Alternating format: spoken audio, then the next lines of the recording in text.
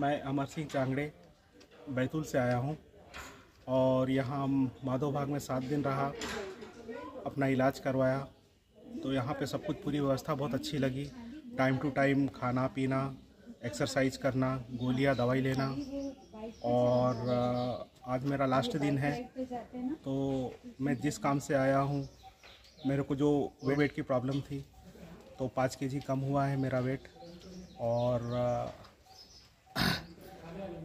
Diet लेके जा रहा हूँ और डाइट भी ठीक से लूँगा तो एक महीने में पाँच किलो वेट आराम से मेरा कम हो जाएगा।